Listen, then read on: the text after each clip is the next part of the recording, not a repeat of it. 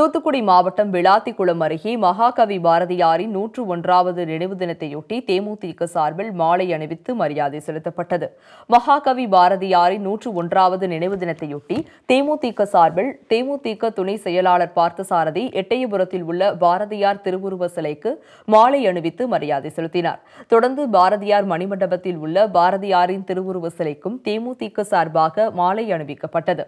மேலும் பாரதியார் இல்லம் மணிமண்டபத்தில் உள்ள பாரதியார் உபயோகப்படுத்திய பொருட்கள் மற்றும் புத்தகங்களை பார்வையிட்டார்.